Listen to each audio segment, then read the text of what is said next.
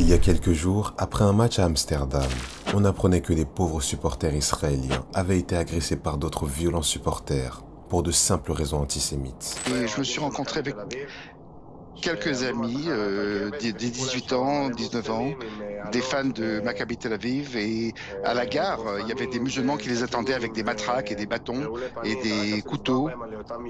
Et ils, euh, avaient des masques. Et tout ce qu'ils voulaient faire, c'est tout simplement euh, heurter les juifs. Et Maccabi et Ajax, il n'y a pas de problème entre les groupes. Hein, ça a toujours été très bien. Mais ils ont tout préparé, même les chauffeurs de taxi et tous les, les musulmans à Amsterdam euh, se sont organisés. Il y avait plusieurs groupes de personnes et ils se sont attaqués à tous ceux qu'ils ont réussi à voir. C'était une attaque terroriste. Terrible, c'est qu'à chaque génération, il a de nouveaux habits et aujourd'hui, eh bien, l'antisémitisme, il est de racines islamistes. Et je suis désolé, je ne prends pas un ton grave pour rien. C'est que le nazi a été remplacé par l'islamiste et le drapeau nazi a été remplacé par le drapeau palestinien. Dans ce type de vidéo, quand on ne connaît pas ou on vient à peine d'apprendre la situation, on se demande pourquoi des gens frapperaient des supporters israéliens, pour cette simple raison. Laissons des personnes sur place, dont un enfant de 14 ans, nous expliquer ce qui a vraiment causé toutes ces agressions. Tel Aviv krijgt een pakje slaag, maar toch doet dat de sfeer niet ten goede. Eh, ik ben benieuwd wat er gebeurt als ze nou eigenlijk naar buiten komen. Oh, oh ze zijn eh, palen uit de grond aan het jatten. Van, oh, ze doen nu allemaal maskers op. Oké. Ze gaan achter mensen aan. Poh, oké, het loopt helemaal uit de hand. Oh, palen naar de politieauto. Zo. Zo. Taxichauffeur reed ook expres doorheen. Ze hadden van die bouwvakkerspalen uit de grond gehaald. En die op andere mensen gegooid en op die politiebussen. Ze trekken nu echt het centrum in. Lijkt er echt op alsof de politie eigenlijk niks doet. Niet eens, dus niet eens een waarschuwing, ze rijden gewoon mee. En volgens mij, al die taxis, dat was dus gisteravond ook, die zijn niet zo blij met de actie. Dus die zijn nu met z'n allen aan het toeteren en dan hoogstwaarschijnlijk komt daar weer ruzie van.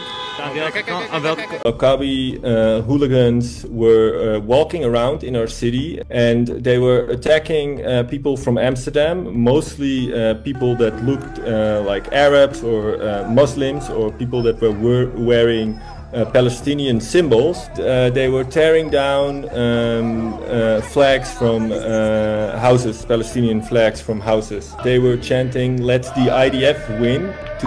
The Arabs, and this is actually part of a longer chant, which also includes there are no schools in Gaza because there are no children left. And these um, these people, they brought banners with them, they brought stickers with them. One of the stickers I saw myself said. Um, we uh, we make war for fun, or we have war for fun. Uh, they were um, glorifying genocide. So of course, people from Amsterdam they uh, got really angry, and actually one of them ended up in the canal. That was a, a counter attack, you could say. Um, and there was actually a lot of police response, um, but it was mostly directed at the uh, pro-Palestinian protesters. Uh, the media coverage, Netherlands, uh, it was, uh, as far as I've seen, uh, very one uh, one-sided. These uh, attacks on these Maccabi hooligans were actually anti-Semitic attacks and completely leaving out the context in which all of this happened. And that context is not only the uh, initial violence that was being used by the Maccabi hooligans, but it is also the Dutch government um, being complicit in the genocide. Et ces vidéos ne sont que les éléments qui ont été filmés. Alors que dire de ce qui s'est réellement passé, sans que personne ne puisse en témoigner Imaginez que lors d'un match, des gens qui n'habitent même pas la ville se baladent avec des armes, provoquent des citoyens sur place en les agressant, en les insultant et en se moquant d'un sujet aussi grave que le génocide en Palestine. Tout ça sans espérer de représailles. Attention, nous n'encourageons absolument pas à la violence ou à l'agression, mais les faits qui ont été rapportés et prouvés par des vidéos ne peuvent rien amener d'autre que plus de violence et de tension. Mais ce qui est surprenant, c'est que certains médias n'aient même pas réussi à avoir ces simples informations. Cela n'est pas étonnant lorsque des personnes tenant ce type de propos sont invitées sur des plateaux.